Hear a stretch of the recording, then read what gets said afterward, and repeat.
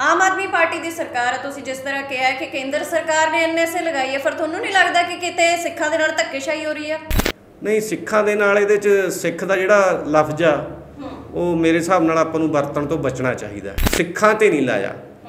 ਅੰਮ੍ਰਿਤਪਾਲ ਤੇ ਲਾਇਆ।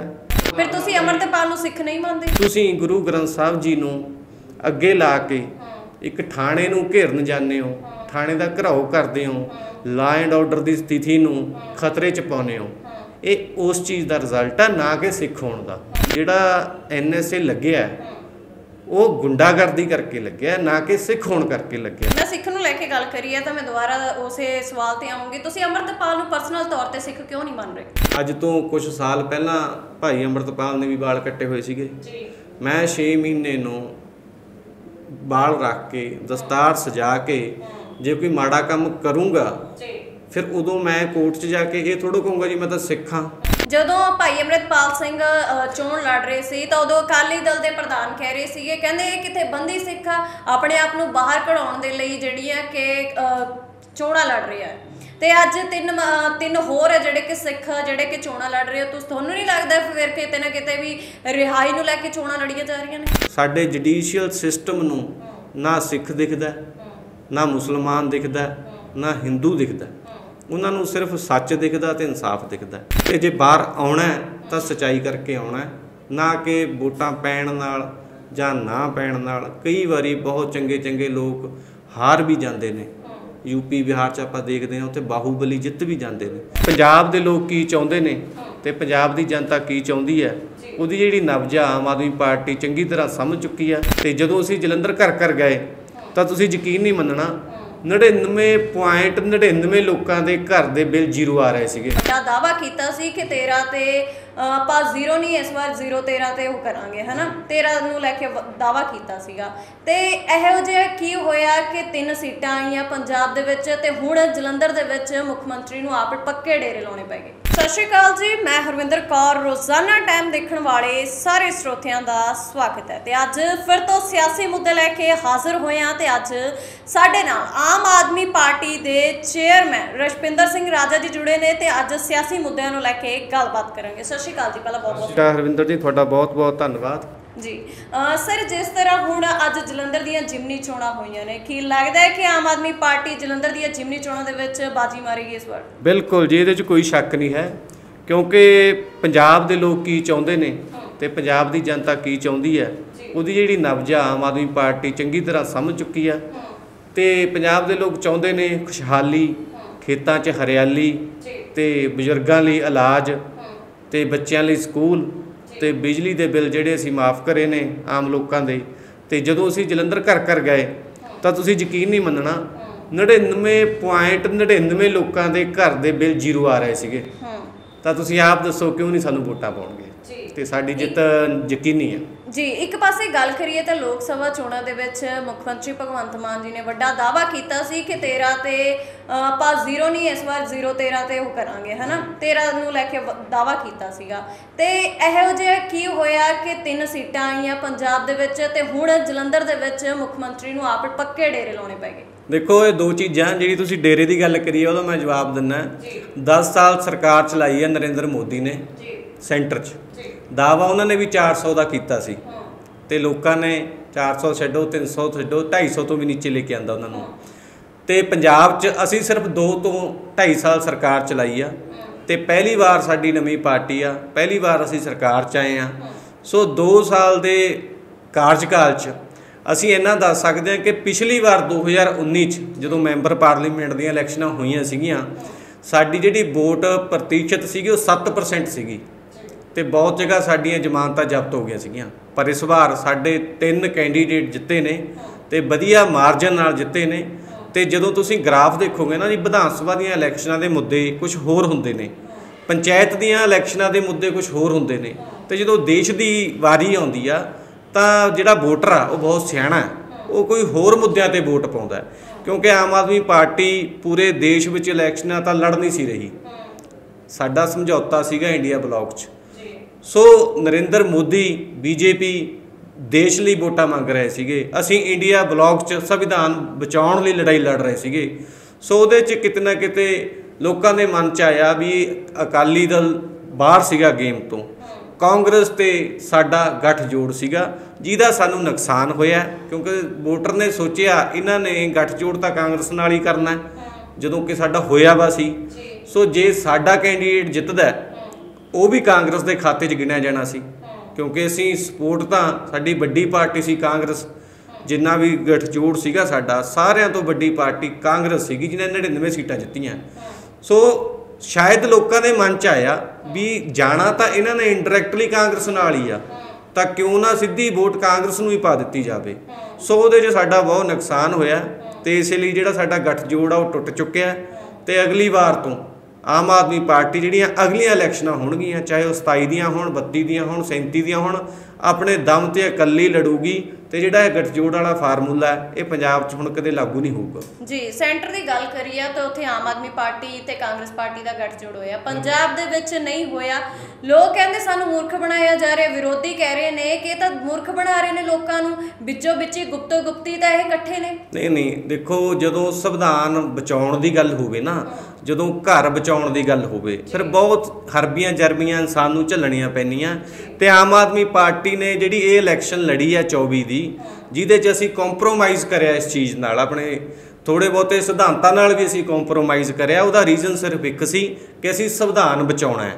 ਜੇ। ਦੇਸ਼ ਬਚੂਗਾ ਜੇ ਲੋਕਤੰਤਰ ਬਚੂਗਾ ਫਿਰ ਇਹ ਸਾਡੀਆਂ ਪਾਰਟੀਆਂ ਦੀ ਜਿਹੜੀ ਕੋਈ ਕ੍ਰੈਡੀਬਿਲਟੀ ਆ ਉਹ ਰਹੂਗੀ। ਕਿਉਂਕਿ ਨਰਿੰਦਰ ਮੋਦੀ ਜੀ ਨੇ ਇਦਾਂ ਦਾ ਮਾਹੌਲ ਸਿਰਜਿਆ ਹੋਇਆ ਕਿ ਉਹ ਸੰਵਿਧਾਨ ਖਤਮ ਕਰਨ ਵਾਲੇ ਰਸਤੇ ਤੇ ਤੁਰੇ ਹੋਏ ਨੇ।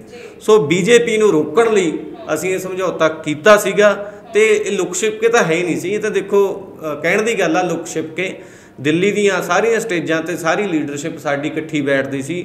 ਸਾਡੇ ਪ੍ਰੈਸ ਨੋਟ ਇਕੱਠੇ ਆਉਂਦੇ ਸੀਗੇ। ਤੋਂ ਲੋਕਣੇ ਛਿਪਣੇ ਵਾਲੀ ਦਾ ਗੱਲ ਗਲਤ ਮੰਨਦਾ ਮੈਂ ਗਲਤ ਗੱਲ ਆ। ਬਟ ਹਾਂ ਤੇ ਜਿਵੇਂ ਮੈਂ ਪਹਿਲਾਂ ਦੱਸਿਆ ਕਿ ਲੋਕਾਂ ਨੂੰ ਇਹੀ ਲੱਗਿਆ ਕਿ ਜਾਣੀ ਵੋਟ ਕਾਂਗਰਸ ਦੇ ਖਾਤੇ 'ਚ ਹੀ ਆ, ਇਸ ਲਈ ਉਹਨੂੰ ਸਿੱਧੀ ਪਾ ਦਿੱਤੀ ਜਾਵੇ। ਸੋ ਉਹਦਾ ਜਿਹੜਾ ਖਮਿਆਜਾ ਸਾਨੂੰ ਭੁਗਤਣਾ ਪਿਆ ਤੇ ਅਸੀਂ ਇਹਦੇ ਤੋਂ ਸੇਧ ਲਵਾਂਗੇ, ਆਪਸ 'ਚ ਬੈਠ ਕੇ ਪੜਚੋਲ ਕਰਾਂਗੇ ਤਾਂ ਕਿ ਅਗਲੀ ਵਾਰ, ਕਿਉਂਕਿ ਹਜੇ ਇੰਡੀਆ ਦੀ ਸਭ ਤੋਂ ਫਾਟ, ਫਾਸਟੈਸਟ ਜਿਹੜੀ growing party, Aam Aadmi Party ਆ, ਅਗਲੀਆਂ ਇਲੈਕਸ਼ਨਾਂ 'ਚ ਅਸੀਂ ਹੋਰ ਸੂਬਿਆਂ 'ਚ ਵੀ ਤਕੜੇ ਹੋ ਜਾਾਂਗੇ। ਉਹ ਤੋਂ ਅਗਲੀਆਂ ਇਲੈਕਸ਼ਨਾਂ 'ਚ ਸਾਡੀ ਇੰਡੀਆ ਦੇ ਕਈ ਸਟੇਟਾਂ 'ਚ ਵੀ ਸਰਕਾਰਾਂ ਹੋਣਗੀਆਂ ਤੇ ਉਦੋਂ ਸਾਨੂੰ ਗੱਠਜੋੜ ਦੀ ਲੋੜ ਨਹੀਂ ਪਊਗੀ। ਅਸੀਂ ਆਪਣੇ ਦਮ ਤੇ ਬੀਜੇਪੀ ਦਾ ਮੁਕਾਬਲਾ ਕਰਿਆ ਕਰਾਂਗੇ। ਜੀ ਭਾਜਪਾ ਤੇ ਅਕਾਲੀ ਦਲ ਦੀ ਸਥਿਤੀ ਨੂੰ ਕਿਸ ਤਰ੍ਹਾਂ ਦੇਖਦੇ ਹੋ? ਦੇਖੋ ਭਾਜਪਾ ਦੀ ਜਿਹੜੀ ਸਥਿਤੀ ਆ ਉਹ ਬਿਲਕੁਲ ਸਾਫ਼ ਆ। ਉਹਨਾਂ ਨੇ ਇੱਕ ਨੈਰੇਟਿਵ ਸਿਰਜਿਆ ਹੋਇਆ ਕਿ ਲੋਕਾਂ ਨੂੰ ਡਰਾ ਕੇ ਵੋਟ ਲੈਣੀ ਆ। ਉਹਨਾਂ ਨੇ ਬਾਕੀ ਮਹਾਰਾਸ਼ਟਰ ਦਿੱਲੀ ਹੋਰ ਸੂਬਿਆਂ 'ਚ ਵੀ ਉਹਨਾਂ ਦੀ ਰਾਜਨੀਤੀ ਇਸੇ ਤਰਜ਼ ਤੇ ਚੱਲਦੀ ਆ। ਤੇ ਕਾਲੀ ਦਲ ਤਾਂ ਲੋਕਾਂ ਦੇ ਦਿਲਾਂ 'ਚ ਉਤਰ ਚੁੱਕਿਆ ਉਹ ਆਪ ਹੀ ਦੁਫਾੜ ਹੋ ਚੁੱਕਿਆ ਸੋ ਉਹਨਾਂ ਬਾਰੇ ਗੱਲ ਕਰਕੇ ਤਾਂ ਇੱਕ ਸਮਾਂ ਖਰਾਬ ਕਰਨ ਵਾਲੀ ਗੱਲ ਆ। ਸੋ ਬੀਜੇਪੀ ਦੀ ਜਿਹੜੀ ਸੋਚ ਆ ਨਾ, ਦੇਸ਼ ਨੂੰ ਉਹਦੇ ਤੋਂ ਬਚਣਾ ਪਊਗਾ। ਉਹ ਡਰਾ ਕੇ ਵੋਟ ਲੈਂਦੀ ਆ। ਉਹ ਹਿੰਦੂ ਵੀਰਾਂ ਨੂੰ ਡਰਾਉਂਦੀ ਆ ਕਦੇ ਮੁਸਲਮਾਨਾਂ ਤੋਂ। ਹੁਣ ਪੰਜਾਬ 'ਚ ਉਹਨੇ ਹਿੰਦੂ ਵੀਰਾਂ ਨੂੰ ਡਰਾਇਆ ਸਿੱਖਾਂ ਤੋਂ। ਕੱਟੜ ਪੰਥੀਆਂ ਨੂੰ ਹਵਾ ਦੇ ਕੇ ਹਿੰਦੂਆਂ ਦੀ ਵੋਟ ਨੂੰ ਪੋਲਰਾਈਜ਼ ਕਰਨ ਦੀ ਜਿਹੜੀ ਰਾਜਨੀਤੀ ਆ, ਉਹ ਬੀਜੇਪੀ ਕਰ ਰਹੀ ਆ। ਅਸੀਂ ਇਹਦਾ ਖੰਡਨ ਕਰਦੇ ਆ ਤੇ ਪੰਜਾਬ ਦੇ ਲੋਕਾਂ ਨੂੰ ਵੀ ਅਪੀਲ ਕਰਦੇ ਆ ਕਿ ਇਸ ਰਾਜਨੀਤੀ ਤੋਂ ਪੰਜਾਬ ਨੂੰ ਆਪਾਂ ਨੂੰ ਬਚਾ ਕੇ ਰੱਖਣਾ ਪਊਗਾ, ਕਿਉਂਕਿ ਸਿਰਫ ਸਾਡੇ ਦੇਸ਼ ਦਾ ਇੱਕੋ ਇੱਕ ਸੂਬਾ ਪੰਜਾਬ, ਜਿੱਥੇ ਕਦੇ ਵੀ ਕਮਿਊਨਲ ਰਾਈਟਸ ਨਹੀਂ ਹੁੰਦੇ, ਸਾਡੇ ਦੰਗੇ ਨਹੀਂ ਹੁੰਦੇ, ਅਸੀਂ ਧਰਮਾਂ ਪਿੱਛੇ ਨਹੀਂ ਲੜਦੇ। ਚਾਹੇ ਲੱਖ ਬਖੇਰਵੀਂ ਹੋਣ ਸਾਡੇ ਸਿਧਾਂਤਕ ਤੌਰ ਤੇ ਲੱਖ ਲੜਾਈਆਂ ਝਗੜੀਆਂ ਹੋਣ ਪਰ ਸਾਡਾ ਜਿਹੜਾ ਸੂਬਾ ਹੈ ਉਹਦੇ ਅੱਜ ਤੱਕ ਕਦੇ ਦੰਗੇ ਨਹੀਂ ਹੋਏ। ਸੋ ਜਿਹੜੀ ਬੀਜੇਪੀ ਦੀ ਇਹ ਸੋਚ ਆ ਰਾਜਨੀਤੀ ਆ ਇਹ ਕਿਤੇ ਨਾ ਕਿਤੇ ਪੰਜਾਬ ਦੀ ਹਾਰਮਨੀ ਨੂੰ ਡਿਸਟਰਬ ਕਰੂਗੀ। ਸੋ ਪੰਜਾਬ ਦੇ ਲੋਕਾਂ ਨੂੰ ਹੱਥ ਜੋੜ ਕੇ ਅਪੀਲ ਆ ਕਿ ਇਹਨਾਂ ਲੋਕਾਂ ਤੋਂ ਜ਼ਰੂਰ ਬਚਿਆ ਜਾਵੇ। ਤੁਸੀਂ ਗੱਲ ਧਰਮ ਨੂੰ ਲੈ ਕੇ ਕਰੀ ਆ ਤਾਂ ਸਭ ਤੋਂ ਵੱਡੀ ਗੱਲ ਕਰੀਏ ਤਾਂ ਅੰਮ੍ਰਿਤਪਾਲ ਨੂੰ ਲੈ ਕੇ ਫਿਰ ਪੰਜਾਬ ਸਰਕਾਰ ਆਵਾਜ਼ ਕਿਉਂ ਨਹੀਂ ਚੱਕਦੀ? ਦੇਖੋ ਪੰਜਾਬ ਸਰਕਾਰ ਵਾਸ ਕਿਸ ਚੀਜ਼ ਲਈ ਚੱਕੇ? ਪਤਾ ਲੱਗੇ। ਐਨਐਸਏ ਸੈਂਟਰ ਸਰਕਾਰ ਨੇ ਲਾਇਆ ਹੋਇਆ। ਪੰਜਾਬ ਸਰਕਾਰ ਨੇ ਜਦੋਂ ਇੱਕ ਲੋਕਤੰਤਰਕ ਦੇਸ਼ 'ਚ ਹਰ ਇੱਕ ਬੰਦੇ ਨੂੰ ਇਲੈਕਸ਼ਨ ਲੜਨ ਦਾ ਹੱਕ ਆ, ਤਾਂ ਪੰਜਾਬ ਸਰਕਾਰ ਨੇ ਇਲੈਕਸ਼ਨ ਲੜਨ ਤੋਂ ਨਹੀਂ ਰੋਕਿਆ। ਉਹਦੀ ਕੋਈ ਐਨਓਸੀ ਜਾਂ ਉਹਦੇ ਤੇ ਕੋਈ ਇਲਜ਼ਾਮ ਲਾ ਕੇ ਜਿੱਦਾਂ ਕਾਗਜ਼ ਕੈਂਸਲ ਕਰਾ ਦਿੱਤੇ ਜਾਂਦੇ ਨੇ, ਕਿਸੇ ਵੀ ਤਰ੍ਹਾਂ ਦੀ ਕੋਈ ਜਿਹੜਾ ਪੰਜਾਬ ਸਰਕਾਰ ਨੇ ਕੋਈ ਵਾਅਦਾ ਖਿਲਾਫੀ ਨਹੀਂ ਕੀਤੀ ਪੰਜਾਬ ਦੇ ਲੋਕਾਂ ਨਾਲ, ਲੋਕਤੰਤਰ ਨਾਲ। ਅਸੀਂ ਇੱਕ ਹੱਕ ਦਿੱਤਾ ਜੋ ਹਰ ਬੰਦੇ ਦਾ ਮੌਲਿਕ ਅਧਿਕਾਰ ਆ ਇਲੈਕਸ਼ਨ ਲੜਦਾ ਤੇ ਅਮਰਤਪਾਲ ਜੀ ਇਲੈਕਸ਼ਨ ਲੜੇ ਨੇ ਤੇ ਲੋਕਾਂ ਨੇ ਜਿਤਾਏ ਨੇ ਦੇਖੋ ਜਦੋਂ ਕਿਸੇ ਬੰਦੇ ਨੂੰ ਲੋਕਾਂ ਨੇ ਆਪਣਾ ਨੁਮਾਇੰਦਾ ਚੁਣ ਲਿਆ ਤਾਂ ਉਸ ਬਾਰੇ ਹੁਣ ਉਸ ਹਲਕੇ ਦੇ ਲੋਕ ਦੱਸਣਗੇ 5 ਸਾਲ ਬਾਅਦ ਕਿ ਵੀ ਜਿਹੜਾ ਅਸੀਂ ਨੁਮਾਇੰਦਾ ਚੁਣਿਆ ਸੀ ਉਹਨਾਂ ਦੀ ਕਾਰਜਕਾਰੀ ਕਿੱਦਾਂ ਦੀ ਰਹੀ ਉਹਨਾਂ ਦਾ ਕੰਮ ਕਰਨ ਦਾ ਤਰੀਕਾ ਕਿੱਦਾਂ ਦਾ ਰਿਹਾ ਸੋ ਅਸੀਂ ਵੀ ਦੇਖਦੇ ਹਾਂ ਕਿ ਕੇਂਦਰ ਸਰਕਾਰ ਇਸ ਤੇ ਕੀ ਫੈਸਲਾ ਲੈਂਦੀ ਹੈ ਪਰ ਮੇਰੀ ਆਪਣੀ ਇੱਕ ਨਿੱਜੀ رائے ਆ ਵੀ ਜੇ ਲੋਕਾਂ ਦਾ ਲੋਕਾਂ ਨੇ ਇੱਕ ਨੁਮਾਇੰਦਾ ਚੁਣਿਆ ਤਾਂ ਲੋਕਾਂ ਨੂੰ ਹੱਕ ਆ ਉਹਦੀ ਕਾਰਜਕਾਰੀ ਦੇਖਣ ਦਾ। ਇਹਦੇ ਲਈ ਜੇ ਉਹਨੂੰ ਕੋਈ ਉਹਨੇ ਗਲਤੀ ਕੀਤੀ ਆ ਕੋਈ ਦੇਸ਼ ਦਾ ਨੁਕਸਾਨ ਕੀਤਾ ਉਹਦੀ ਬਣਦੀ ਕੋਈ ਸਜ਼ਾ ਹੈ ਉਹ ਦੇ ਕੇ ਉਸ ਤੋਂ ਬਾਅਦ ਉਹਨਾਂ ਨੂੰ ਸਜ਼ਾ ਵਾਲਾ ਜਿਹੜਾ ਕੰਮ ਆ ਉਹ ਨਿਬੇੜ ਕੇ ਮੈਦਾਨ 'ਚ ਛੱਡਣਾ ਚਾਹੀਦਾ ਤਾਂ ਕਿ ਉਹ ਆ ਕੇ ਲੋਕਾਂ ਦੀ ਸੇਵਾ ਕਰ ਸਕੇ ਤੇ ਆਪਣੀ ਜਿਹੜੀ ਕਾਬਲੀਅਤ ਆ ਸਿਰਫ ਇੱਥੇ ਮੈਂ ਭਾਸ਼ਣ ਦੇ ਰਿਹਾ। ਇਹਦੇ 'ਚ ਮੇਰੀ ਕੋਈ ਕਾਬਲੀਅਤ ਸ਼ੋਅ ਨਹੀਂ ਹੁੰਦੀ। ਮੈਨੂੰ ਮੈਦਾਨ ਤੇ ਜਾ ਕੇ ਆਪਣੀ ਕਾਬਲੀਅਤ ਜਿਹੜੀ ਉਹ ਦਿਖਾਉਣੀ ਚਾਹੀਦੀ ਆ ਤੇ ਅਸੀਂ ਚਾਹੁੰਦੇ ਆ ਵੀ ਉਹ ਮੈਂਬਰ ਪਾਰਲੀਮੈਂਟ ਉਹ ਵੀ ਆਪਣੇ ਹਲਕੇ ਦੇ ਆ ਕੇ ਲੋਕਾਂ ਦੀ ਬਾਹ ਫੜੇ ਲੋਕਾਂ ਦੇ ਦੁੱਖ ਸੁੱਖ ਸੁਣੇ ਤੇ ਪੰਜਾਬ ਦੇ ਲੋਕ ਫੈਸਲਾ ਕਰਨ ਕਿ ਉਹਨਾਂ ਨੂੰ ਕਿੱਦਾਂ ਦਾ ਮੈਂਬਰ ਪਾਰਲੀਮੈਂਟ ਚਾਹੀਦਾ ਜਿਹੜਾ ਉਹ ਅਸਲੀ ਤੱਤ ਆ ਉਹ 2029 ਚ ਸਾਡੇ ਸਾਹਮਣੇ ਆਊਗਾ ਜਦੋਂ ਅਗਲੀ ਇਲੈਕਸ਼ਨ ਵਿੱਚ ਅਮਰਤਪਾਲ ਸਿੰਘ ਜੀ ਇਲੈਕਸ਼ਨ ਲੜਨਗੇ ਉਹ ਸਹੀ ਮਤਲਬ ਉਹਨੂੰ ਆਪਾਂ ਕਾਨੂੰਨੀ ਤੌਰ ਤੇ ਲਾ ਲਓ ਸਿਧਾਂਤਕ ਤੌਰ ਤੇ ਲਾ ਲਓ ਵਿਧਾਨਕ ਤੌਰ ਤੇ ਲਾ ਲਓ ਜਾਂ ਕਿਸੇ ਵੀ ਐਂਗਲ ਤੋਂ ਲਾ ਲਓ ਜੇ 2029 ਦੀ ਇਲੈਕਸ਼ਨ ਉਹ ਜਿੱਤਦੇ ਨੇ ਤਾਂ ਉਹਨਾਂ ਦੀ ਸਹੀ ਜਿੱਤ ਸਹੀ ਮਾਇਨੇ ਦੀ ਜਿੱਤ ਉਦੋਂ ਹੋਊਗੀ। ਆਮ ਆਦਮੀ ਪਾਰਟੀ ਦੀ ਸਰਕਾਰ ਹੈ ਤੁਸੀਂ ਜਿਸ ਤਰ੍ਹਾਂ ਕਿਹਾ ਹੈ ਕਿ ਕੇਂਦਰ ਸਰਕਾਰ ਨੇ ਐਨਐਸਏ ਲਗਾਈ ਹੈ ਫਿਰ ਤੁਹਾਨੂੰ ਨਹੀਂ ਲੱਗਦਾ ਕਿ ਕਿਤੇ ਸਿੱਖਾਂ ਦੇ ਨਾਲ ਧੱਕੇਸ਼ਾਹੀ ਹੋ ਰਹੀ ਹੈ ਨਹੀਂ ਸਿੱਖਾਂ ਦੇ ਨਾਲ ਇਹਦੇ ਚ ਸਿੱਖ ਦਾ ਜਿਹੜਾ ਲਫ਼ਜ਼ ਆ ਉਹ ਮੇਰੇ ਹਿਸਾਬ ਨਾਲ ਆਪਾਂ ਨੂੰ ਵਰਤਣ ਤੋਂ ਬਚਣਾ ਚਾਹੀਦਾ। ਕਿਉਂਕਿ ਇਸੇ ਚੀਜ਼ ਦੀ ਤਾਂ ਆਪਾਂ ਗੱਲ ਕਰਦੇ ਹਾਂ ਕਿ ਬੀਜੇਪੀ ਇਦਾਂ ਕਰਦੀ ਆ। ਜੇ ਆਪਾਂ ਵੀ ਇਹੀ ਕੁਝ ਕਰਨ ਲੱਗ ਜਾਾਂਗੇ ਫਿਰ ਤਾਂ ਆਪਾਂ ਵੀ ਉਹਨਾਂ ਦੀ ਰਾਹ ਤੇ ਤੁਰ ਪਾਂਗੇ। ਹੂੰ। ਸਿੱਖਾਂ ਤੇ ਨਹੀਂ ਲਾਇਆ। ਅੰਮ੍ਰਿਤਪਾਲ ਤੇ ਲਾਇਆ। ਇੱਕ ਆਪਣੇ ਆਪ ਨੂੰ ਫਿਰ ਤੁਸੀਂ ਅਮਰਤਪਾਲ ਨੂੰ ਸਿੱਖ ਨਹੀਂ ਮੰਨਦੇ? ਨਹੀਂ ਮੈਂ ਤੁਹਾਨੂੰ ਦੱਸਦਾ ਪ੍ਰਧਾਨ ਮੰਤਰੀ ਬਣਿਆ ਉਤੇ ਲਾਇਆ। ਪੰਜਾਬ 'ਚ ਹੋਰ ਵੀ 2.5-3 ਕਰੋੜ ਸਿੱਖ ਰਹਿੰਦਾ ਮੈਂ ਵੀ ਸਿੱਖਾਂ ਮੇਰੇ ਤੇ ਨਹੀਂ ਲਾਇਆ। ਤੁਸੀਂ ਵੀ ਸਿੱਖੋ ਤੁਹਾਡੇ ਤੇ ਨਹੀਂ ਲਾਇਆ। ਕਿਸ ਚੀਜ਼ ਲਈ ਲਾਇਆ? ਮੁੱਦਾ ਇਹ ਹੋਣਾ ਚਾਹੀਦਾ। ਕਿਹਦੇ ਤੇ ਲਾਇਆ? ਮੁੱਦਾ ਇਹ ਨਹੀਂ ਹੈ। ਤੁਸੀਂ ਗੁਰੂ ਗ੍ਰੰਥ ਸਾਹਿਬ ਜੀ ਨੂੰ ਅੱਗੇ ਲਾ ਕੇ ਇੱਕ ਥਾਣੇ ਨੂੰ ਘੇਰਨ ਜਾਂਦੇ ਹੋ ਥਾਣੇ ਦਾ ਘਰਾਓ ਕਰਦੇ ਹੋ ਲਾ ਐਂਡ ਆਰਡਰ ਦੀ ਸਥਿਤੀ ਨੂੰ ਖਤਰੇ 'ਚ ਪਾਉਂਦੇ ਹੋ। ਇਹ ਉਸ ਚੀਜ਼ ਦਾ ਰਿਜ਼ਲਟ ਹੈ ਨਾ ਕਿ ਸਿੱਖ ਹੋਣ ਦਾ। ਸਿੱਖ ਹੋਣਾ ਪੰਜਾਬ ਛੱਡੋ ਦੁਨੀਆ ਦੇ ਕਿਸੇ ਵੀ ਖੂੰਜੇ 'ਚ ਕੋਈ ਗੁਨਾਹ ਨਹੀਂ ਹੈ। ਕਿਤੇ ਰੋਕ ਨਹੀਂ ਹੈ। ਸਾਰੀ ਦੁਨੀਆ 'ਚ ਸਾਡੇ ਝੰਡੇ ਝੂਲਦੇ ਨੇ ਨਿਸ਼ਾਨ ਸਾਹਿਬ ਹਰ ਗੁਰਦੁਆਰੇ 'ਚ ਸਾਡੇ ਝੂਲਦੇ ਨੇ। ਪਰ ਮੈਂ ਇਸ ਚੀਜ਼ ਨੂੰ ਆਪਣੇ ਹੱਕ 'ਚ ਨਾ ਲਵਾਂ ਕਿ ਮੈਂ ਕੋਈ ਵੀ ਗੁੰਡਾਗਰਦੀ ਕਰਾਂ। ਠੀਕ ਹੈ? ਜਿਹੜਾ ਐਨਐਸਏ ਲੱਗਿਆ ਉਹ ਗੁੰਡਾਗਰਦੀ ਕਰਕੇ ਲੱਗਿਆ, ਨਾ ਕਿ ਸਿੱਖ ਹੋਣ ਕਰਕੇ ਲੱਗਿਆ। ਸੋ ਇਹਨਾਂ ਚੀਜ਼ਾਂ ਨੂੰ ਵੱਖ-ਵੱਖ ਕਰਕੇ ਦੇਖਣ ਦੀ ਜ਼ਰੂਰਤ ਆ। ਤੇ ਬਾਕੀ ਜਿਹੜਾ ਕੇਂਦਰ ਸਰਕਾਰ ਦਾ ਫੈਸਲਾ, ਉਹ ਹੁਣ ਕੇਂਦਰ ਸਰਕਾਰ ਦੀ ਤੁਹਾਨੂੰ ਡਿਟੇਲਾਂ ਜਿਹੜੀ ਉਹ ਮੁਹੱਈਆ ਕਰਾ ਸਕਦੇ ਨੇ। ਜਾਂ ਜਿਹੜੇ ਉਹਨਾਂ ਦੇ ਲੀਗਲ ਐਡਵਾਈਜ਼ਰ ਨੇ, ਉਹ ਤੁਹਾਨੂੰ ਦੱਸ ਸਕਦੇ ਨੇ। ਕਿਉਂਕਿ ਜਦੋਂ ਕੋਰਟ 'ਚ ਕੇਸ ਚਲੇ ਜਾਂਦਾ ਉੱਥੇ ਨਾ ਕੋਈ ਸਿੱਖ, ਨਾ ਕੋਈ ਮੁਸਲਮਾਨ, ਨਾ ਕੋਈ ਹਿੰਦੂ। ਉੱਥੇ ਤਾਂ ਸਬੂਤ ਪੇਸ਼ ਕਰਨੇ ਪੈਣਗੇ। ਸੋ ਮੈਂ ਉਹੀ ਗੱਲ ਕਹਿ ਕੇ ਹਟਿਆ ਵੀ ਕੇਂਦਰ ਸਰਕਾਰ ਕੇਸ ਨੂੰ ਕੋਰਟ ਵਿੱਚ ਲੈ ਕੇ ਜਾਵੇ। ਜੇ ਉਹਨਾਂ ਨੇ ਗਲਤੀ ਕਰੀ ਹੈ ਉਹਦੀ ਕੋਈ ਸਜ਼ਾ ਮੁਕਰਰ ਕਰੋ। ਸਜ਼ਾ ਨਵੇੜੋ। ਜਿਵੇਂ ਅਸੀਂ ਬੰਦੀ ਸਿੰਘਾਂ ਦੀ ਲੜਾਈ ਲੜਦੇ ਜੀ। ਸਾਰਾ ਪੰਜਾਬ ਸਾਡੀ ਸਿੱਖ ਕੌਮ ਸਾਡਾ ਹਿੰਦੂ ਭਾਈਚਾਰਾ ਮੁਸਲਮਾਨ ਭਾਈਚਾਰਾ ਇਸ ਚੀਜ਼ ਤੇ ਕੋਈ ਦੋ ਰਾਏ ਨਹੀਂ ਅਸੀਂ ਕੋਈ ਸਿੱਖ ਹਿੰਦੂ ਨਹੀਂ ਹੈ। ਜਿਹੜੀ ਸੱਚਾਈ ਹੈ ਇਨਸਾਨੀਅਤ ਆ ਉਹ ਤੇ ਸਾਰਾ ਪੰਜਾਬ ਇੱਕ ਹੁੰਦਾ ਕਿਸੇ ਨੂੰ ਕੋਈ ਇਤਰਾਜ਼ ਨਹੀਂ ਹੈ ਵੀ ਜਿਨ੍ਹਾਂ ਨੇ ਆਪਣੀਆਂ ਸਜ਼ਾਵਾਂ ਪੂਰੀਆਂ ਕਰ ਲੀਆਂ ਉਹਨਾਂ ਨੂੰ ਇਨਸਾਨੀਅਤ ਦੇ ਨਾਤੇ ਮੋਰੈਲਿਟੀ ਤੇ ਹਿਊਮਨ ਰਾਈਟਸ ਦੇ ਹੱਕਾਂ ਦੇ ਨਾਤੇ ਉਹਨਾਂ ਨੂੰ ਛੱਡਣਾ ਚਾਹੀਦਾ ਜੀ। ਤੋ ਇਹੀ ਚੀਜ਼ ਮੈਂ ਇੱਥੇ ਵੀ ਕਹਿਣੀ ਚਾਹੁੰਦਾ ਜੇ ਉਹਨਾਂ ਨੇ ਜਿਹੜੀ ਗਲਤੀ ਕਰੀ ਹੈ ਉਹਦੀ ਸਜ਼ਾ ਬਣਾਓ।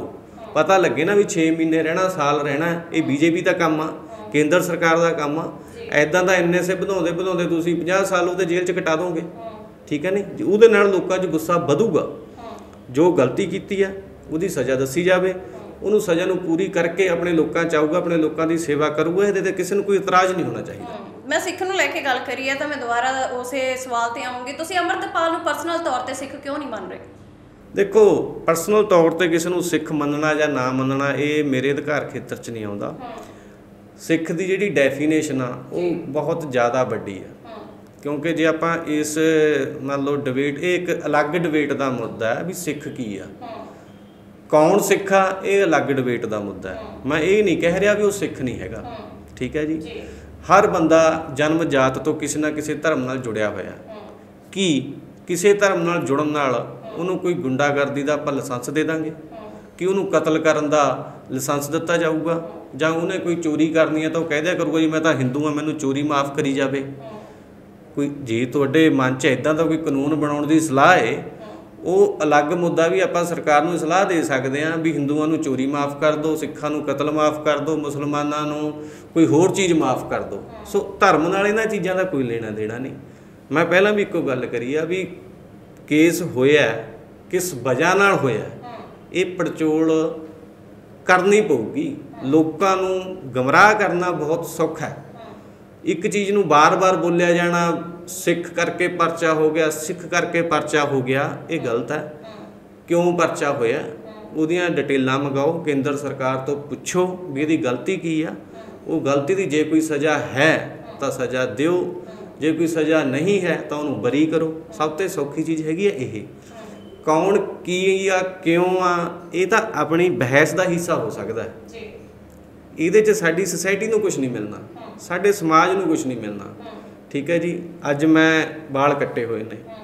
ਠੀਕ ਹੈ ਜੀ? ਅੱਜ ਤੋਂ ਕੁਝ ਸਾਲ ਪਹਿਲਾਂ ਭਾਈ ਅੰਮ੍ਰਿਤਪਾਲ ਨੇ ਵੀ ਵਾਲ ਕੱਟੇ ਹੋਏ ਸੀਗੇ। ਜੀ। ਮੈਂ 6 ਮਹੀਨੇ ਨੂੰ ਵਾਲ ਰੱਖ ਕੇ ਦਸਤਾਰ ਸਜਾ ਕੇ ਜੇ ਕੋਈ ਮਾੜਾ ਕੰਮ ਕਰੂੰਗਾ ਜੀ। ਫਿਰ ਉਦੋਂ ਮੈਂ ਕੋਰਟ 'ਚ ਜਾ ਕੇ ਇਹ ਥੋੜ੍ਹਾ ਕਹੂੰਗਾ ਜੀ ਮੈਂ ਤਾਂ ਸਿੱਖਾਂ ਸਿੱਖਾਂ ਤੇ ਪਰਚਾ ਕਰਤਾ। ਉਹ ਪਰਚਾ ਮੇਰੇ ਤੇ ਹੋਊਗਾ, ਰਸ਼ਪਿੰਦਰ ਸਿੰਘ ਰਾਜੇ ਤੇ, ਨਾ ਕਿ ਸਿੱਖ ਤੇ। ਸੋ ਇਹ ਚੀਜ਼ ਸਮਝਣ ਦੀ ਲੋੜ ਹੈ ਇਹਨੂੰ ਤੁਹਾਡੀ ਵੀ ਜ਼ਿੰਮੇਵਾਰੀ ਬਣਦੀ ਹੈ ਮੀਡੀਆ ਦੀ ਜ਼ਿੰਮੇਵਾਰੀ ਬਣਦੀ ਆ ਕਿ ਇਸ ਚੀਜ਼ 'ਚ ਲੋਕਾਂ ਨੂੰ ਗਮਰਾਹ ਨਾ ਕਰਿਆ ਜਾਵੇ। ਹਾਂ, ਜਿੱਥੇ ਸਹੀ ਆ ਤਾਂ ਸਹੀ, ਗਲਤ ਆ ਤਾਂ ਗਲਤ, ਹਿੰਦੂ ਆ ਤਾਂ ਹਿੰਦੂ, ਮੁਸਲਮਾਨ ਆ ਤਾਂ ਮੁਸਲਮਾਨ, ਸਿੱਖ ਆ ਤਾਂ ਸਿੱਖ। ਇਹਦੀ ਲੜਾਈ ਇਨਸਾਨੀਅਤ ਦੇ ਤੌਰ ਤੇ ਲੜੀ ਜਾਵੇ, ਨਾ ਕਿ ਧਰਮ ਦੇ ਲੋ ਇਨਸਾਨੀਅਤ ਦੇ ਤੌਰ ਤੇ ਲੜੋ ਵੀ ਭਾਈ ਬਿਨਾਂ ਵਜ੍ਹਾ ਕਿਸੇ ਨੂੰ ਕਿਉਂ ਅੰਦਰ ਰੱਖਿਆ? ਪਰ ਇਹ ਸ਼ਬਦ ਕਹਿਣਾ ਕਿ ਇੱਕ ਸਿੱਖ ਨੂੰ ਕਿਉਂ ਅੰਦਰ ਰੱਖਿਆ ਇਹ ਅਲੱਗ-ਅਲੱਗ ਚੀਜ਼ਾਂ ਤੇ ਇਹੀ ਚੀਜ਼ ਬੀਜੇਪੀ ਚਾਹੁੰਦੀ ਆ। ਤੇ ਬੀਜੇਪੀ ਇਹੀ ਚੀਜ਼ ਚਾਹੁੰਦੀ ਆ। ਤੇ ਬੀਜੇਪੀ ਦੇ ਬੰਦਿਆਂ ਦੇ ਹਰ ਤੀਏ ਦਿਨ ਜਿਹੜਾ ਕਟਾਪਾ ਹੁੰਦਾ ਹੈ ਜਿਹੜੀਆਂ ਲੜਾਈਆਂ ਝਗੜੇ ਹੁੰਨੇ ਆ ਇੱਕ ਪਿੱਛੇ ਜੇ ਵੀ। ਇੱਕ ਵਾਰਦਾਤ ਹੋਈ ਆ। ਸੋ ਉਹ ਚੀਜ਼ਾਂ ਇਹਨਾਂ ਚੀਜ਼ਾਂ ਦੇ ਵਿੱਚੋਂ ਹੀ ਨਿਕਲਦੀਆਂ। ਜਦੋਂ ਆਪਾਂ ਕਿਸੇ ਵੀ ਪਰਸਨਲ ਇਨਸੀਡੈਂਟ ਨੂੰ ਧਰਮ ਦਾ ਇਨਸੀਡੈਂਟ ਬਣਾ ਦਿੰਦੇ ਆ ਠੀਕ ਹੈ ਜੀ। ਹੁਣ ਜੇ ਗੱਲ ਹੈ ਵੀ ਇੱਕ ਚੀਜ਼ ਨੂੰ ਚੀਰ ਫਾੜ ਕਰਾਂਗੇ ਤਾਂ ਗੱਲ ਹੋਰ ਪਾਸੇ ਚਲੇ ਜਾਂਦੀ ਆ ਤੇ ਸਾਡੇ ਸਰੋਤੇ ਨੇ ਜਿਹੜੇ ਉਹ ਗੱਲ ਨੂੰ ਸਮਝਣ ਦੀ ਬਜਾਏ ਉਹਨੂੰ 네ਗੇਟਿਵ ਤਰੀਕੇ ਨਾਲ ਲੈ ਲੈਂਦੇ ਨੇ। ਕਿਉਂਕਿ ਲੋਕਾਂ ਨੇ ਮਨ 'ਚ ਆਪਣੇ ਆਪ ਇੱਕ ਚੀਜ਼ ਸਥਾਪਿਤ ਕਰ ਲਈ। ਵੀ ਜੋ ਮੈਂ ਸੋਚ ਲਈ ਉਹ ਸਹੀ ਆ। ਗਰਾਊਂਡ ਤੇ ਕੀ ਆ? ਬੈਕਗ੍ਰਾਉਂਡ ਤੇ ਕੀ ਆ? ਉਹਦੇ ਗੱਲ ਦੇ ਤੱਤ ਕੀ ਨੇ ਰੀਜ਼ਨ ਕੀ ਨੇ, ਇਹਦੇ ਤੇ ਕੋਈ ਨਹੀਂ ਜਾਣਾ ਚਾਹੁੰਦਾ। ਸੋ ਫਿਰ ਮੈਂ ਉਸੇ ਗੱਲ ਤੇ ਆਉਣਾ। ਆਪਾਂ ਆਪ ਮੈਂ ਨਿੱਜੀ ਤੌਰ ਤੇ ਕਿਹਾ, ਬੇਨਤੀ ਕਰੀ ਆ ਵੀ ਭਾਈ ਕੇਂਦਰ ਸਰਕਾਰ ਬੀਜੇਪੀ ਨੂੰ ਅਪੀਲ ਹੈ, ਜੇ ਸਜ਼ਾ ਕਰੀ ਆ, ਕਿਸ ਗੁਨਾਹ ਦੀ ਕਰੀ ਆ, ਉਹ ਸਜ਼ਾ ਲੋਕਾਂ ਨੂੰ ਦੱਸੀ ਜਾਵੇ। ਲੋਕ ਤਿਆਰ ਨੇ, ਤੁਸੀਂ ਸਾਲ ਦੀ ਸਜ਼ਾ ਦਿਓ 6 ਮਹੀਨੇ ਦੀ ਦਿਓ, ਪਰ ਪਤਾ ਤਾਂ ਲੱਗੇ ਕਿਹੜੀ ਗੱਲ ਕਰਕੇ ਜੇਲ੍ਹ 'ਚ ਰੱਖਿਆ। ਠੀਕ ਹੈ ਜੀ, ਜਿੱਦਾਂ ਮੈਂ ਤੁਹਾਨੂੰ ਦੱਸਿਆ ਵੀ ਬੀਜੇਪੀ ਦੀ ਕੇਂਦਰ ਸਰਕਾਰ ਕਹਿੰਦੇ ਵੀ ਥਾਣੇ ਤੇ ਕਬਜ਼ਾ ਕਰਿਆ। ਪਰਚਾ ਉਸ ਗੱਲ ਦਾ ਹੋਇਆ। ਜੀ। ਪਰਚਾ ਇਸ ਗੱਲ ਦਾ ਨਹੀਂ ਹੋਇਆ ਕਿ ਵੀ ਉਹਨੇ ਸਿੱਖੀ ਸਰੂਪ ਧਾਰਨ ਕਰਿਆ। ਸੋ ਇਹ ਦੋ ਦੋਨੋਂ ਚੀਜ਼ਾਂ ਨੂੰ ਅਲੱਗ-ਅਲੱਗ ਕਰਕੇ ਦੇਖਣ ਦੀ ਜ਼ਰੂਰਤ ਆ ਤੇ ਜਿਹੜਾ ਸਾਡਾ ਪੰਜਾਬ ਆ ਇਹ ਇਸੇ ਤਰ੍ਹਾਂ ਹੱਸਦਾ ਵਸਦਾ ਤਾਂ ਰਹੂਗਾ ਜੇ ਅਸੀਂ ਇਹਦੇ 'ਚ ਜਿਵੇਂ ਕਹਿੰਦੇ ਆ ਬੂਟੇ 'ਚ ਪਾਣੀ ਪਾਵਾਂਗੇ ਤਾਂ ਬੂਟਾ ਵਧੂਗਾ ਫਲੂਗਾ। ਜੇ ਤੁਸੀਂ ਬੂਟੇ 'ਚ ਮਿੱਟੀ ਦਾ ਤੇਲ ਪਾਉਣ ਲੱਗ ਜਾਓਗੇ ਤੇ ਲੋਕਾਂ ਨੂੰ ਕਹੋਗੇ ਪਾਣੀ ਪਾ ਰਹੇ ਹੋ ਤਾਂ ਇਹਦਾ ਮਤਲਬ ਵੀ ਆਪਾਂ ਉਸ ਬੂਟੇ ਨੂੰ ਨੇਸਤਾ ਨਬੂਦ ਕਰਨ ਵਾਸਤੇ ਲੋਕਾਂ ਨੂੰ ਗਮਰਾਹ ਕਰ ਰਹੇ ਹਾਂ। ਸੋ ਇਹਦੇ ਤੋਂ ਸਾਨੂੰ ਬਚਣਾ ਪਊਗਾ ਜੀ ਖਡੂਰ ਸਾਹਿਬ ਦੇ ਵਿੱਚ ਭਾਈ ਅਮਰਤਪਾਲ ਦੀ ਵੱਡੀ ਲੀਡ ਦੇ ਨਾਲ ਜਿੱਤ ਪ੍ਰਾਪਤ ਹੁੰਦੀ ਹੈ। ਉਸ ਤੋਂ ਬਾਅਦ ਹੁਣ ਤਿੰਨ ਸਿੱਖ ਜਥੇਬੰਦੀਆਂ ਜਿਹੜੀਆਂ ਕਿ ਹੋਰ ਸਿਆਸੀ ਅਖਾੜੇ ਦੇ ਵਿੱਚ ਜਿਹੜੀਆਂ ਕਿ ਉਤਰ ਰਹੀਆਂ ਨੇ ਉੱਥੇ ਗੁਲ- ਕਰੀਏ ਕੁਲਵੰਤ ਸਿੰਘ ਰਾਉਕੇ ਨੂੰ ਪ੍ਰਧਾਨ ਮੰਤਰੀ ਬਾਜੇ ਕੇ ਦਲਜੀਤ ਕਲਸੀ ਇਹਨਾਂ ਨੂੰ ਤੁਸੀਂ ਕਿਵੇਂ ਦੇਖਦੇ ਹੋ? ਨਹੀਂ ਦੇਖੋ ਮੈਂ ਪਹਿਲਾਂ ਵੀ ਕਿਹਾ ਕਿ ਲੋਕਤੰਤਰ ਇੱਕ ਹੱਕ ਆ ਹਰ ਬੰਦੇ ਦਾ। ਹੂੰ। ਉਹਨਾਂ ਦਾ ਵੀ ਹੱਕ ਉਹਨਾਂ ਨੂੰ ਇਲੈਕਸ਼ਨ ਲੜਨੀਆਂ ਚਾਹੀਦੀਆਂ। ਜੇ ਜਿੱਤਣਗੇ ਤਾਂ ਲੋਕਾਂ ਦੀ ਸੇਵਾ ਕਰਨ। ਜੀ। ਹਾਰਨਗੇ ਤਾਂ ਦੁਬਾਰਾ ਲੜਨ। ਸੋ ਇਹਦੇ 'ਚ ਤਾਂ ਕੋਈ ਦੋਰਾ ਹੋਣੀ ਨਹੀਂ ਚਾਹੀਦੀ। ਜਦੋਂ ਭਾਈ ਅਮਰਿਤਪਾਲ ਸਿੰਘ ਚੋਣ ਲੜ ਰਹੇ ਸੀ ਤਾਂ ਉਦੋਂ ਅਕਾਲੀ ਦਲ ਦੇ ਪ੍ਰਧਾਨ ਕਹਿ ਰਹੇ ਸੀਗੇ ਕਹਿੰਦੇ ਇਹ ਕਿਤੇ ਬੰਦੀ ਸਿੱਖ ਆਪਣੇ ਆਪ ਨੂੰ ਬਾਹਰ ਕਢਾਉਣ ਦੇ ਲਈ ਜਿਹੜੀ ਆ ਕਿ ਚੋਣਾਂ ਲੜ ਰਿਹਾ ਹੈ ਤੇ ਅੱਜ ਤਿੰਨ ਮ- ਤਿੰਨ ਹੋਰ ਹੈ ਜਿਹੜੇ ਕਿ ਸਿੱਖ ਜਿਹੜੇ ਕਿ ਚੋਣਾਂ ਲੜ ਰਹੇ ਹੋ ਤੁਸੀਂ ਤੁਹਾਨੂੰ ਨਹੀਂ ਲੱਗਦਾ ਫਿਰ ਕਿਤੇ ਨਾ ਕਿਤੇ ਵੀ ਰਿਹਾਈ ਨੂੰ ਲੈ ਕੇ ਚੋਣਾਂ ਲੜੀਆਂ ਜਾ ਰਹੀਆਂ ਨੇ? ਨਹੀਂ ਮੈਂ ਪਹਿਲਾਂ ਵੀ ਇੱਕੋ ਗੱਲ ਕਾਨੂੰਨਨ ਤੌਰ ਤੇ ਵੀ ਸ਼ਾਇਦ ਉਹ ਗੱਲ ਠੀਕ ਹੋਵੇ। ਇੱਕ ਲੀਡਰ ਦੇ ਤੌਰ ਤੇ ਬਿਆਨ ਦੇਣਾ ਅਲੱਗ ਗੱਲ ਹੁੰਦੀ ਆ। ਜਿਵੇਂ ਪਹਿਲਾਂ ਵੀ ਕਿਹਾ ਵੀ ਇਹਨੂੰ ਇੱਕ ਸਿੱਖੀ ਦੇ ਤੌਰ ਤੇ ਬਾਰ-ਬਾਰ ਦੇਖਣਾ ਆਪਾਂ ਨੂੰ ਬੰਦ ਕਰਨਾ ਪਊਗਾ। ਇੱਕ ਗਲਤੀ ਜਾਂ ਸਜ਼ਾ ਦੇ ਤੌਰ ਤੇ ਦੇਖਣਾ ਪਊਗਾ। ਫਿਰ ਤਾਂ ਵੀ ਉਹੀ ਗੱਲ ਹੋ ਗਈ ਨਾ ਵੀ ਕੋਈ ਵੀ ਕਤਲ ਕਰਕੇ ਬਾਅਦ ਵਿੱਚ ਕਹਿ ਦੋ ਜੀ ਮੈਂ ਤਾਂ ਜੀ ਇਲੈਕਸ਼ਨ ਲੜਨੀ ਆ। ਉਹ ਬਾਹਰ ਥੋੜੋ ਆ ਜਾਊਗਾ। ਬਾਹਰ ਉਦੋਂ ਆਊਗਾ ਜਦੋਂ ਜਿਹੜੀ ਕੋਈ ਗਲਤੀ ਕਰੀ ਆ ਉਹਦੀ ਸਜ਼ਾ ਭੁਗਤੀ ਜਾਊਗੀ, ਸਜ਼ਾ ਖਤਮ ਹੋਊਗੀ, ਉਹਨੂੰ ਬਾਹਰ ਆਉਣ ਵਾਸਤੇ ਇਲੈਕਸ਼ਨਾਂ ਲੜਨ ਦੀ ਲੋੜ ਨਹੀਂ ਪਊਗੀ। ਹੁਣ ਜਿੰਨੇ ਮੰਨ ਲਓ ਕੋਈ ਜੁਰਮ ਕਰਦੇ ਨੇ ਲੋਕ, ਉਹ ਸਜ਼ਾ ਕੱਟ ਕੇ ਬਾਹਰ ਆਉਂਦੇ ਨੇ ਇਲੈਕਸ਼ਨ ਲੜ ਕੇ ਥੋੜੋ ਬਾਹਰ ਆਉਂਦੇ ਨੇ। ਇਹ ਤਾਂ ਇੱਕ ਮੰਨ ਲਓ ਵੀ ਚਲੋ ਫਿਰ ਉਹੀ ਗੱਲ ਤੇ ਆਉਨੇ ਆਪਾਂ, ਉਹਨਾਂ ਦਾ ਮੌਲਿਕ ਅਧਿਕਾਰ ਆ ਇਲੈਕਸ਼ਨ ਲੜਨ ਦਾ। ਸਾਨੂੰ ਉਹਦੇ ਤੇ ਕੋਈ ਇਤਰਾਜ਼ ਨਹੀਂ।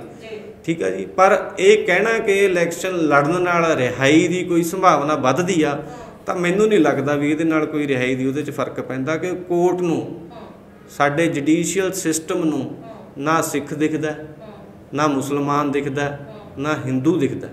ਉਹਨਾਂ ਨੂੰ ਸਿਰਫ ਸੱਚ ਦਿਖਦਾ ਤੇ ਇਨਸਾਫ ਦਿਖਦਾ। ਤੇ ਜੇ ਬਾਹਰ ਆਉਣਾ ਤਾਂ ਸਚਾਈ ਕਰਕੇ ਆਉਣਾ ਨਾ ਕਿ ਵੋਟਾਂ ਪੈਣ ਨਾਲ ਜਾਂ ਨਾ ਪੈਣ ਨਾਲ, ਕਈ ਵਾਰੀ ਬਹੁਤ ਚੰਗੇ ਚੰਗੇ ਲੋਕ ਹਾਰ ਵੀ ਜਾਂਦੇ ਨੇ। ਯੂਪੀ ਬਿਹਾਰ ਚ ਆਪਾਂ ਦੇਖਦੇ ਹਾਂ, ਉੱਥੇ ਬਾਹੂਬਲੀ ਜਿੱਤ ਵੀ ਜਾਂਦੇ ਨੇ। ਸੋ ਬਾਹੂਬਲੀ ਜਿੱਤ ਕੇ ਜੇਲ੍ਹਾਂ 'ਚ, ਸਾਰੀ ਜ਼ਿੰਦਗੀ ਜੇਲ੍ਹਾਂ 'ਚ ਕੱਟਦੇ ਨੇ ਯੂਪੀ 'ਚ ਕੱਟ ਵੀ ਰਹੇ ਨੇ। ਸੋ ਬਾਹਰ ਥੋੜੋ ਆ ਗਏ ਇਲੈਕਸ਼ਨਾਂ ਨਾਲ। ਸੋ ਇਹ ਅਲੱਗ-ਅਲੱਗ ਮੁੱਦੇ ਨੇ। ਮੈਨੂੰ ਨਹੀਂ ਲੱਗਦਾ ਵੀ ਇਹਨਾਂ ਮੁੱਦਿਆਂ ਤੇ ਪੰਜਾਬ ਦੇ ਲੋਕਾਂ ਨੂੰ ਆਪਣੀ એનર્ਜੀ ਵੇਸਟ ਕਰਨੀ ਚਾਹੀਦੀ ਹੈ, ਸਾਨੂੰ ਗੱਲ ਕਰਨੀ ਚਾਹੀਦੀ ਹੈ ਰੁਜ਼ਗਾਰ ਦੀ। ਪੰਜਾਬ ਦਾ ਪਾਣੀ ਜਿਹੜੀ ਆ ਪਿੱਛੇ ਹਫ਼ਤੇ ਇੱਕ ਰਿਪੋਰਟ ਆਈ ਆ 15 ਸਾਲਾਂ 'ਚ ਖਤਮ ਹੋਣ ਜਾ ਰਿਹਾ। ਹੈ। ਜਦੋਂ ਸਾਡੇ ਬੱਚੇ ਇੱਥੇ ਸਾਡੀ ਅਗਲੀ ਪੀੜ੍ਹੀ ਜਵਾਨ ਹੋਊਗੀ ਉਹਨਾਂ ਵਾਸਤੇ ਸਾਨੂੰ ਸੋਚਣਾ ਪਊਗਾ ਉਹ ਪਾਣੀ ਪੀਣ ਕਿੱਥੇ ਜਾਣਗੇ। ਕਿ ਉਹਨਾਂ ਨੂੰ ਪੀਣ ਦਾ ਪਾਣੀ ਮੁਹੱਈਆ ਕਰਵਾਇਆ ਜਾਊਗਾ ਜਾਂ ਨਹੀਂ ਕਰਵਾਇਆ ਜਾਊਗਾ? ਤੇ ਹੋਊਗਾ ਤਾਂ ਕਿਵੇਂ ਹੋਊਗਾ? ਇਹ ਗੰਭੀਰ ਮੁੱਦੇ ਨੇ ਪੰਜਾਬ ਦੇ। ਜੇ ਸਾਡੀ ਧਰਤੀ 'ਚ ਪਾਣੀ ਨਾ ਰਿਹਾ ਪਾਣੀ ਬਿਨਾ ਸਾਡੀ ਕਿਸਾਨੀ ਨਾ ਰਹੀ ਕਿਸਾਨੀ ਬਿਨਾ ਸਾਡੇ ਕੋਲ ਰੁਜ਼ਗਾਰ ਕੋਈ ਨਹੀਂ, ਸਾਡੇ ਕੋਲ ਇੰਡਸਟਰੀ ਕੋਈ ਨਹੀਂ, ਸਾਡੇ ਕੋਲ ਕਿੱਤਾ ਕੋਈ ਨਹੀਂ। ਇਹ ਪੰਜਾਬ 'ਚ ਆਪਾਂ 30 ਦਿਨ ਚੋਂ 15 ਦਿਨ ਧਰਨੇ ਸੜਕਾਂ ਬੰਦ ਰਹਿੰਦੀਆਂ ਨੇ, ਇੰਡਸਟਰੀ ਆ ਨਹੀਂ ਰਹੀ, ਇਹ ਬੜੇ ਮੁੱਦੇ ਨੇ ਜਿਹਦੇ ਤੇ ਸਾਨੂੰ ਗੰਭੀਰਤਾ ਨਾਲ ਸੋਚਣਾ ਪਊਗਾ। ਫਿਰ ਆਪਾਂ ਕਹਿ ਦਿੰਦੇ ਆ ਜੀ, ਨੌਜਵਾਨ ਪੰਜਾਬ ਛੱਡ ਛੱਡ ਭੱਜੀ ਜਾਂਦਾ, ਬਾਹਰਲੇ ਦੇਸ਼ਾਂ ਨੂੰ ਭੱਜ ਭੱਜੀ ਜਾਂਦਾ। ਤੇ ਜੇ ਇੱਥੇ ਮਾਹੌਲ ਹੀ ਆਪਾਂ ਬੱਚਿਆਂ ਨੂੰ ਇਦਾਂ ਦਾ ਦੇਣ ਲੱਗ ਗਏ ਇਹਦੇ 'ਚ ਮੈਂ ਨਹੀਂ ਕਹਿੰਦਾ ਵੀ ਕਿਸੇ ਇੱਕ ਪੋਲੀਟੀਕਲ ਪਾਰਟੀ ਦਾ ਰੋਲ ਆ।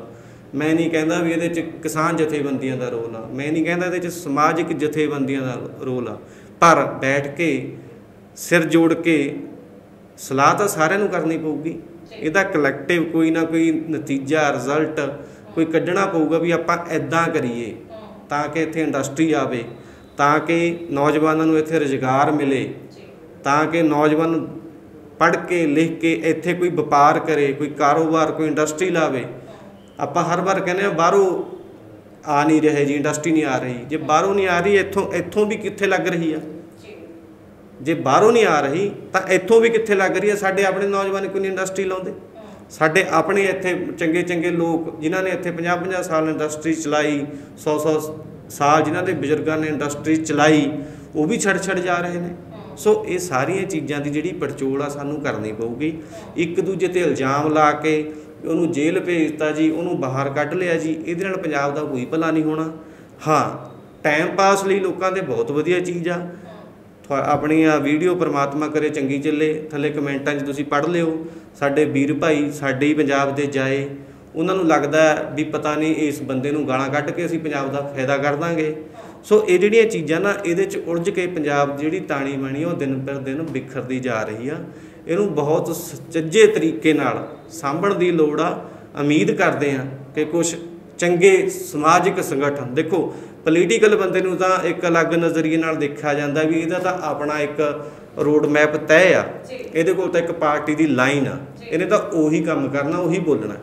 ਪਰ ਅਸੀਂ ਚਾਹੁੰਦੇ ਆ ਚੰਗੇ ਸਮਾਜਿਕ ਬੰਦੇ ਚੰਗੇ ਕਾਰੋਬਾਰੀ ਚੰਗੇ ਸਾਡੇ ਕਿਸਾਨ ਭਰਾ, ਸਾਡੇ ਨੌਜਵਾਨ ਅੱਗੇ ਆਉਣ, ਉਹ ਪੋਲੀਟੀਕਲ ਸਿਸਟਮ ਤੋਂ ਬਿਨਾ ਵੀ ਇੱਕ ਐਦਾਂ ਦਾ ਇਕੋਸਿਸਟਮ ਤਿਆਰ ਕਰਨ, ਜਿਹਦੇ 'ਚ ਸਲਾਹ ਹੋਵੇ مشਵਰਾ ਹੋਵੇ, ਆਪਸ 'ਚ ਬੈਠ ਕੇ ਗੱਲਾਂ ਬਾਤਾਂ ਹੋਣ ਕਿ ਪੰਜਾਬ ਨੂੰ ਕਿਵੇਂ ਸਿਰ ਪੈਰ ਤੇ ਕਰਨਾ ਪੰਜਾਬ ਦੀ ਜਿਹੜੀ ਜਵਾਨੀ ਆ ਨਸ਼ਿਆਂ 'ਚ ਗਲਤਾਨ ਹੋ ਰਹੀ ਆ ਉਹਨੂੰ ਕਿਵੇਂ ਮੋੜ ਕੇ ਲਿਆਉਣਾ ਪੰਜਾਬ ਦਾ ਪਾਣੀ ਜਿਹੜਾ 15 ਸਾਲਾਂ ਬਾਅਦ ਮੁੱਕਣ ਜਾ ਰਿਹਾ ਹੈ ਜੇ ਪੰਜਾਬ ਦਾ ਪਾਣੀ ਮੁੱਕ ਗਿਆ, ਜ਼ਮੀਨਾਂ ਬੰਜਰ ਹੋ ਗਈਆਂ, ਕਣਕ ਝੋਨਾ ਝੋਨਾ ਛੱਡੋ, ਇੱਥੇ ਤਾਂ ਡੰਗਰਾਂ ਵਾਸਤੇ, ਪਸ਼ੂਆਂ ਵਾਸਤੇ ਬਰਸੀਨ ਨਹੀਂ ਮਿਲਣਾ ਸਾਨੂੰ, ਕੱਖ ਨਹੀਂ ਮਿਲਨੇ ਸੋ ਉਹ ਤੁਸੀਂ ਸੋਚ ਕੇ ਦੇਖੋ ਪੰਜਾਬ ਕਿਹੋ ਜਿਹਾ ਹੋਊਗਾ। ਕੀ ਉੱਥੇ ਅਸੀਂ ਆਪਣੇ ਗੁਰੂਆਂ ਨਾਲ, ਪੀਰਾਂ ਨਾਲ, ਫਕੀਰਾਂ ਨਾਲ ਕਰੇ ਹੋਏ ਵਾਅਦੇ ਜਾਂ ਉਹਨਾਂ ਦੇ ਕਦਮਾਂ ਤੇ ਚੱਲਣ ਦੀਆਂ ਜਿਹੜੀਆਂ ਗੱਲਾਂ ਅੱਜ ਹਰੇਕ ਬੰਦਾ ਉੱਠ ਕੇ ਕਰਦਾ ਜੀ, ਮੈਂ ਤਾਂ ਬਹੁਤ ਸੱਚਾ ਉੱਕਾ ਹੈ ਜੀ ਆਪਾਂ ਨਤਮਸਤਕ ਹੁੰਨੇ ਆ ਆਪਣੇ ਪੀਰਾਂ ਫਕੀਰਾਂ ਨੂੰ। ਕੀ ਅਸੀਂ ਉਹਨਾਂ ਦੇ ਪੂਰਨਿਆਂ ਤੇ ਪੂਰਾ ਚੱਲੇ? ਪਵਨ ਗੁਰੂ ਪਾਣੀ ਪਿਤਾ ਅਸੀਂ ਸਾਂਭਿਆ ਆਪਣੇ ਬਾਪ ਨੂੰ ਜਿਹਨੂੰ ਬਾਣੀ 'ਚ ਸਾਡਾ ਪਿਤਾ ਕਿਹਾ ਗਿਆ। ਅਸੀਂ ਉਹਨੂੰ ਸਾਂਭਿਆ ਆਪਣੀ ਅਸੀਂ ਹਵਾ ਨੂੰ ਸਾਂਭਿਆ। ਸੋ ਕਿਤੇ ਨਾ ਕਿਤੇ ਅਸੀਂ ਥਿੜਕ ਗਏ। ਸੋ ਅਜੇ ਵੀ ਡੁੱਲੇ ਵੀਰਾਂ ਦਾ ਕੁਝ ਨਹੀਂ ਵਿਗੜਿਆ। ਇਹਨਾਂ ਸਾਰੇ ਮੁੱਦਿਆਂ ਨੂੰ ਗੰਭੀਰਤਾ ਨਾਲ ਲੈ ਕੇ ਬਹੁਤ ਸੁਚੱਜੇ ਢੰਗ ਨਾਲ ਮੈਂ ਫੇਰ ਕਹਿ ਰਿਹਾ। ਇਕੱਲੇ ਪੋਲੀਟੀਕਲ ਨਹੀਂ ਸਮਾਜਿਕ ਤੌਰ ਤੇ ਵੀ ਸਾਨੂੰ ਐਫਰਟ ਕਰਨੇ ਪੈਣਗੇ ਤਾਂ ਜੋ ਆਪਾਂ ਆਪਣੇ ਪੰਜਾਬ ਨੂੰ ਬਚਾ ਸਕੀਏ ਤੇ ਦੁਨੀਆ ਤੇ ਆਪਾਂ ਰਾਜ ਕਰਨਾ ਹੈ। ਪੰਜਾਬ 'ਚ ਇੱਕ ਗੱਲ ਆ ਅਸੀਂ ਅਰਦਾਸ ਕਰਦੇ ਆ ਕਿ ਰਾਜ ਕਰੇਗਾ ਖਾਲਸਾ। ਅਸੀਂ ਰਾਜ ਕਰਨ ਦੀਆਂ ਗੱਲਾਂ ਕਰਦੇ ਆ ਪਰ ਅਸੀਂ ਆਪਣਾ ਘਰ ਤਾਂ ਬਚਾ ਨਹੀਂ ਰਹੇ। ਜ਼ਮੀਨ ਅਸੀਂ ਬੰਜਰ ਕਰ ਲਈ ਜਵਾਨੀ ਅਸੀਂ ਬਾਹਰ ਨੂੰ ਤੋੜਤੀ ਕਿਸਾਨੀ ਫਸ ਗਈ ਕਰਜ਼ੇ ਦੇ ਜਾਲ 'ਚ। ਸੋ ਪਾਣੀ ਅਸੀਂ ਮਕਾ ਲਿਆ। ਅਸੀਂ ਤਾਂ ਆਪਣੀ ਜਿਹੜੀ ਧਰਤੀ ਸਾਨੂੰ ਪ੍ਰਮਾਤਮਾ ਨੇ ਬਖਸ਼ੀ ਆ, ਅਸੀਂ ਤਾਂ ਉਹ ਨਹੀਂ ਸੰਭੀ। ਸੋ ਦੁਨੀਆ ਤੇ ਰਾਜ ਕਰਨ ਤਾਂ ਬਾਅਦ ਚ ਜਾਵਾਂਗੇ ਨਾ ਜੇ ਸਾਡਾ ਆਪਣਾ ਘਰ ਆਪਣਾ ਪੰਜਾਬ ਆਪਣਾ ਪਿੰਡ ਆਪਣਾ ਮਹੱਲਾ ਸਹੀ ਹੋਊਗਾ। ਸੋ ਇਹ ਸਾਰੀਆਂ ਚੀਜ਼ਾਂ ਤੇ ਬੇਨਤੀ ਹੈ ਕਿ ਪੰਜਾਬ ਦੇ ਲੋਕ ਮੇਰੇ ਭਰਾ ਮੇਰੇ ਬਜ਼ੁਰਗ ਜ਼ਰੂਰ ਸੋਚਣ ਛੋ- ਬਾਕੀ ਚੀਜ਼ਾਂ ਨੂੰ ਇੱਕ ਪਾਸੇ ਰੱਖ ਕੇ ਪੰਜਾਬ ਦੀ ਭਲਾਈ ਲਈ ਜ਼ਰੂਰ ਅੱਗੇ ਆਉਣ ਇਹੀ ਉਮੀਦ ਕਰਦਾ ਹੈ। ਜੀ ਸੋ ਬਹੁਤ ਬਹੁਤ ਧੰਨਵਾਦ ਕਰਦੇ ਹਾਂ ਤੁਸੀਂ ਸਾਨੂੰ ਆਪਣਾ ਕੀਮਤੀ ਸਮਾਂ ਦਿੱਤਾ। ਸਤਿ ਸ਼੍ਰੀ ਅਕਾਲ। ਤੇ ਹੁਣ ਸਾਨੂੰ ਦੋ ਇਜਾਜ਼ਤ ਧੰਨਵਾਦ।